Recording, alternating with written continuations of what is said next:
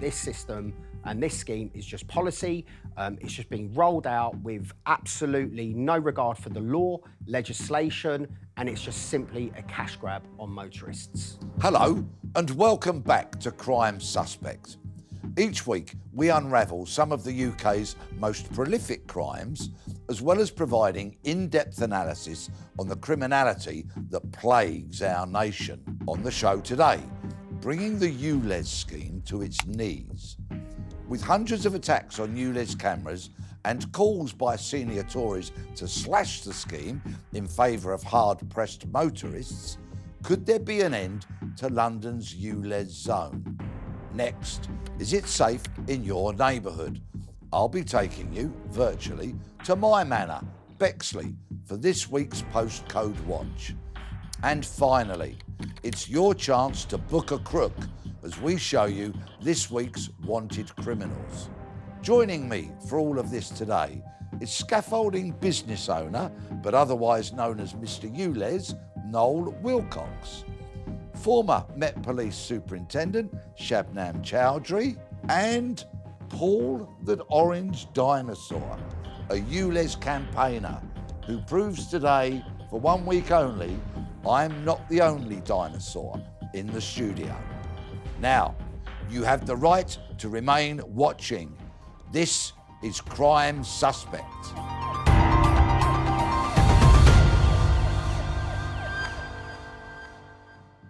All right, since the ULEZ scheme was expanded in August this year, 5 million more Londoners are facing daily charges of £12.50 if their vehicles do not comply.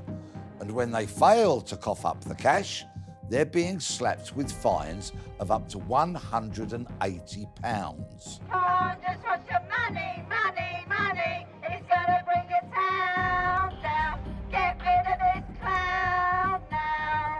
A fierce backlash from motorists saw many cameras being stolen and damaged by groups of anti ULEZ vigilantes who've taken it upon themselves to smash, spray paint, and cut wires on cameras at various sites across London. They say they want to bring the expanded ULEZ scheme to its knees and have a series of exciting plans in place. So, Shabnam, tell me about the scale of this criminality, the amount of damage and the such like. Well, Peter, across London, there's something like 2,800 ULEZ cameras, and I think a significant number of those are within the inner London boroughs.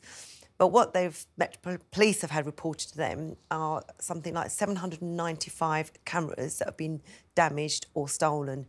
200 of those were damaged and 595 of those were stolen. So significant amount of cameras. That's a huge amount of crimes, and what are the Met Police doing about it? Well, the Met in May of this year, they launched an operation to target those offenders that are either damaging or stealing those cameras. Operation Eremon, I think. That's the one, exactly, Peter. And what they've done is they've not got dedicated teams, but every borough will have officers uh, across that borough that will investigate those types of crimes. So they will look at witness evidence, they'll look at CCTV footage, they'll look at any opportunities for forensics to maximise their opportunities to arrest those offenders. And I think there's only been a tiny number of arrests, hasn't there? Well, there's been two arrests. Uh, one has been discontinued. One will go to trial in uh, June of next year. And I think there was a recent one uh, in the last couple of months who has been bailed to return to uh, the station in uh, December of this year. So the bottom line is the Metropolitan Police are about as likely to solve these crimes as they are to solve the crimes of a phone theft, a bicycle theft, a domestic burglary, a car being stolen, and much more. Well, criminal damage isn't actually a priority crime. And then when they, um, you know, the thefts or the cameras, depending on the price of the damage, the lower the damage, the less chance there is of police actually investigating it in any case. Paul the dinosaur. Now, I'm not going to suggest for a moment that you've been involving yourself in crime, although obstructing the highway might be an offence in certain circumstances. Um, what have you been doing to try and combat the rollout of this ULEZ? Um, well, like myself and other protesters, obviously, we, uh, you know, will block the camera with a with a sign, with a dinosaur outfit, or um, or even in some instances other vehicles, personal vehicles. Is ULEZ ever going to be scrapped? It can and it will. Um, we've got two um, candidates. Um, we've got Susan Hall and Howard Cox, both running for election to Just replace. the- interrupting you there. So Susan Hall is the Conservative candidate for the London mayoral election, That's correct. and Howard Cox represents the Reform UK party. That's correct. And both have vowed to uh, scrap the ULEZ expansion. So wouldn't your time be better spent leafleting, campaigning, and helping either one or both of those mayoral candidates? My time, I feel, is best spent saving hard-working people £12.50 a day. Noel, you've had a very interesting relationship with Transport for London, TFL, and ULEZ. Tell me about that, please. Well, I committed a crime and I went to work. That's the crime that I committed. So, yeah, my company was hit with £11,500 worth of fines back in July 2021. Is this your fleet of vehicles? Yes, yes, it was. So we were operating out of our base, which is in Harefields, and um, little did I know at the time because we just um, we just moved yards. Um, little did we know at the time that there was this low emission zone scheme in place. N- no idea what that was. Right.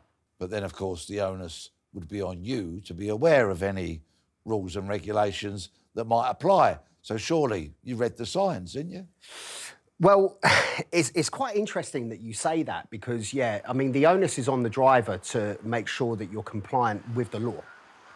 So, surely a scheme is not the law. Okay. So that was that was the kind of confusing part, you know, for me. Yeah. Um, so yeah, I mean, we saw these signs that just said L E Z, yeah. and that was it. There was no information that was on those signs at all. What grounds did you challenge these fines on then? Right. So when, when we received when we received the fines that had come through, if if I could just clarify, it's it's a thousand pounds if you don't pay the hundred pound auto pay system. Yeah. But there's no signs telling you that there is a charge. So that immediately aroused my suspicions as to exactly what this was. So I challenged it to TFL and I said, look, you know, we've not received any post. Is there any chance that we can review this? And they were absolutely not interested at all. I, I armed myself with the knowledge. I read up on the Road Traffic Regulations Act, um, and I quickly established that the signs were not law, were not lawful, in my opinion, at that stage. Is your case now, your opinion, that the signs are still unlawful? One, 100%. The symbol that we all recognise is the red background with the white C. Yeah. Yeah, which would indicate that there's a charge. Yeah. Um, That's what the law states, and that's what we're, we're all led to believe. The tribunal, I understand, ruled in your favour and set the fines and the charges aside, didn't they? In my court order that I had, it said that all of the penalty charge notices and all of my fees are to be refunded to me By TFL. by Transport for London without delay. And that was the ruling from the court. But they've not abided by that. And how long ago was that ruling made? So that ruling was in October 2021, but after that court order was um, implemented by the court, Transport for London then deployed their bailiffs to come after me and pursued me for a good year after that court order.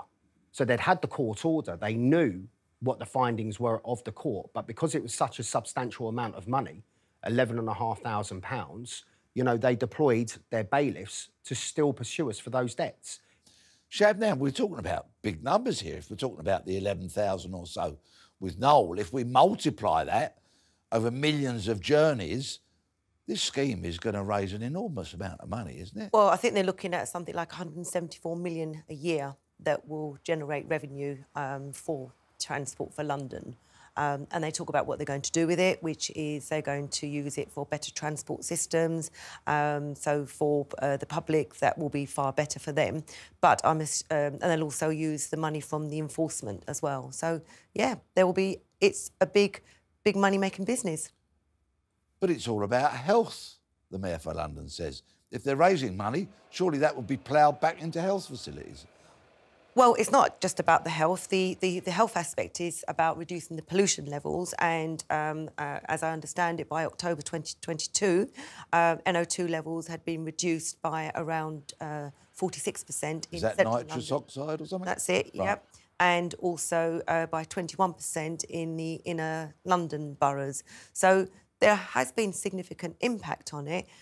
That's a huge amount of money to use for the Transport for London systems. And I think actually that's not a bad idea. They're talking about reducing pollution levels and making air cleaner and greener and so on.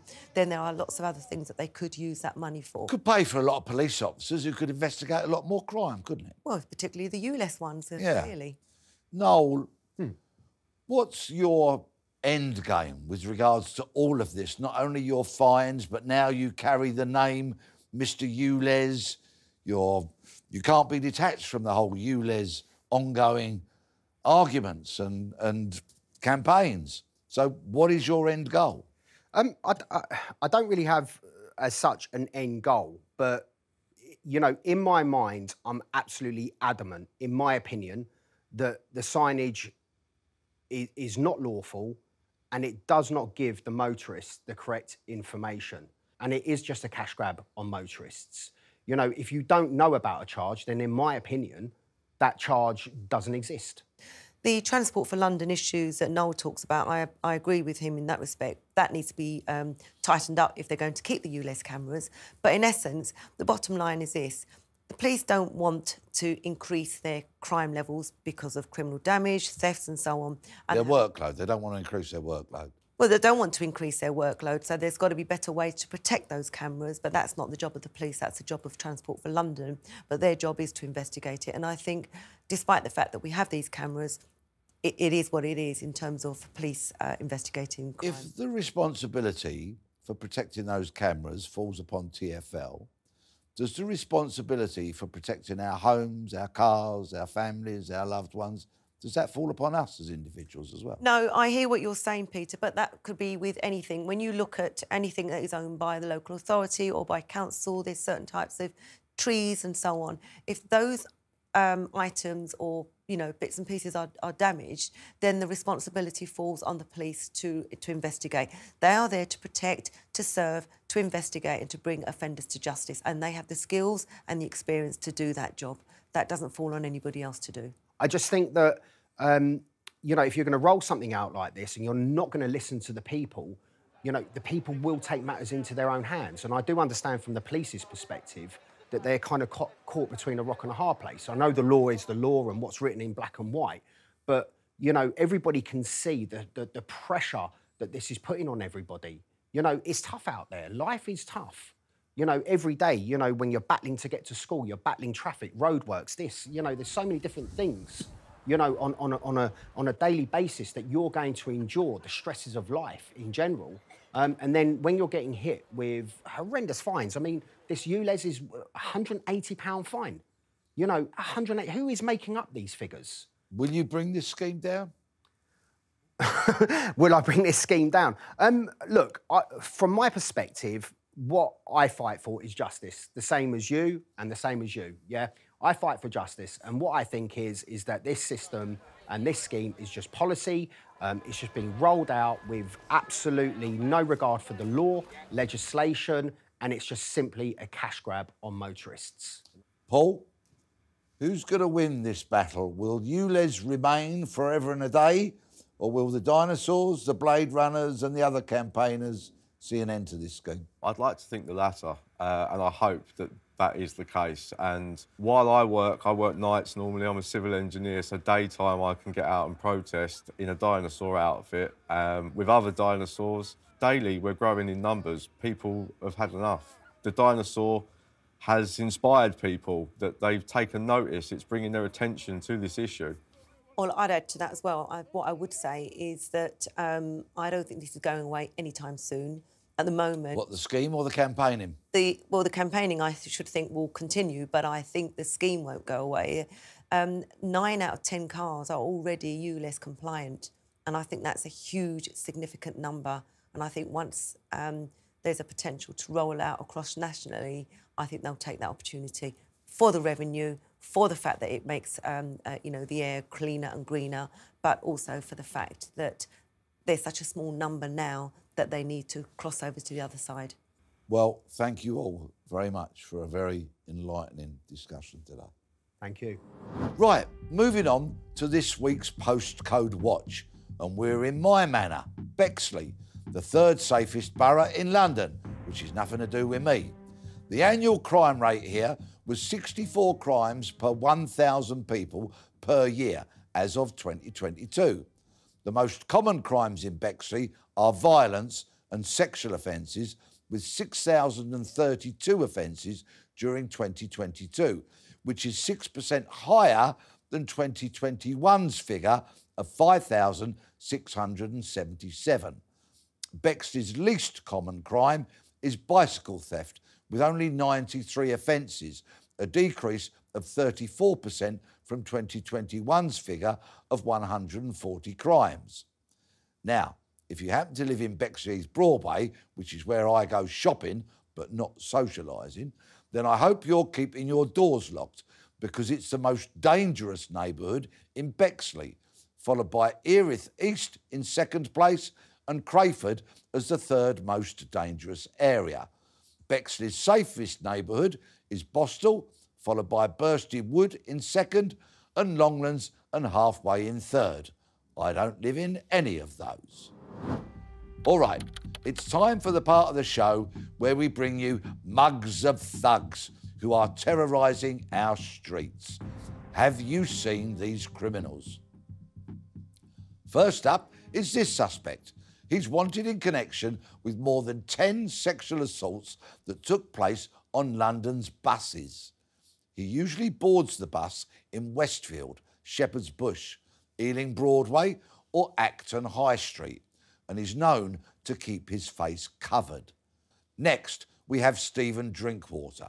This 42 year old from Wolverhampton is wanted for a number of serious fraud offences. And lastly, have you seen this man? Police are on the lookout for a man they think is connected to an assault at the AO Arena in Manchester back in early September of this year. If you think you know or have seen any of these crooks, please get in touch anonymously with Crime Stoppers on 0800 555 111. Right, that's all we've got time for this week. Many thanks to Noel, Shabnam, and to Paul, the orange Bexley dinosaur. Be sure to leave us a comment, like, and subscribe, and we'll be back next week for more Crime Suspect.